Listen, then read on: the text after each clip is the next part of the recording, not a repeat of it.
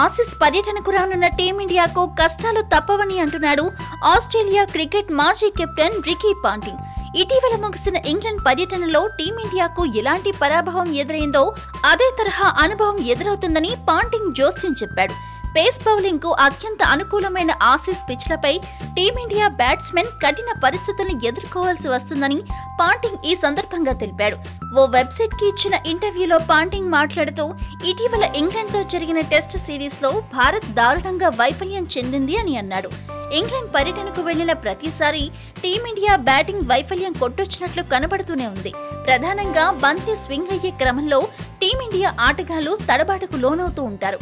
Face బౌలింగ్లో బంతి తన దిశను గాలిలోనే మార్చుకుంటే భారత ఆటగాళ్ళు సునాయాసంగా వికెట్లు సమర్పించుకుంటారు. ఇంగ్లాండ్లో అదే చూసాం. ఆసీస్లో కూడా అదే రిపీట్ అవుతుంది అని పాంటింగ్ తెలిపాడు. ఉపఖండపు పిచ్చుల్లో తొలి రోజు నుంచే స్పిన్కు అనుకూలంగా ఉంటుంది. అటువంటి సందర్భాల్లో మేము చాలా సార్లు ఇబ్బంది పడ్డాం. ఇక ఆసీస్ పిచ్లు మా పేస్ అటాక్కు పూర్తి అనుకూలంగా ఉంటాయనడంలో ఎటువంటి సందేహం లేదు. దాంతో ఆస్ట్రేలియాలో టీమిండియాకు అసలు సిసలు సవాల్ ఎదురు కానుంది అంటూ పాంటింగ్ జోస్యం చెప్పాడు.